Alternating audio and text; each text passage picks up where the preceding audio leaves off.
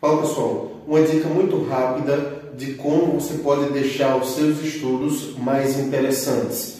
Eu estava aqui tocando uma sugestão de exercício do grande Cássio Cunha e esta sugestão eu estava executando o mesmo exercício, só que de três formas diferentes. Por exemplo,